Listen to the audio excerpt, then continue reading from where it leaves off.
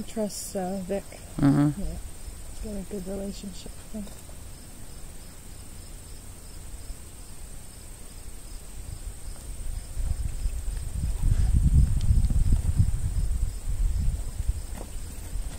Good yields. Mm-hmm.